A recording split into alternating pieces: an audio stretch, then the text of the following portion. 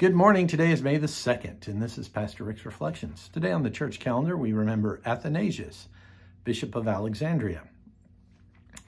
Athanasius was born around the year 297 in Alexandria, Egypt.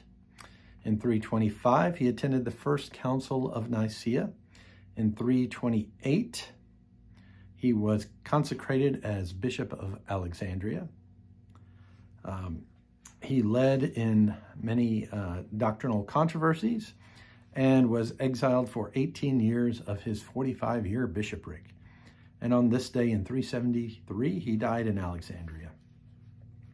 Ale uh, Athanasius served as the bishop of one of the church's most important centers during decades of considerable violence and ecclesiastical dissent.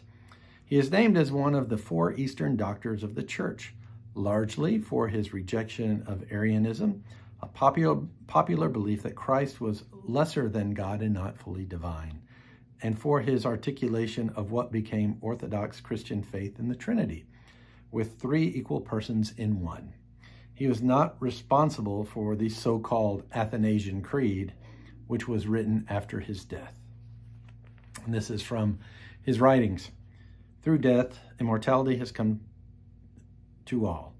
And through the incarnation of the Word, the universal providence and its leader and creator of the Word of God himself have been made known. For he became human that we might become divine.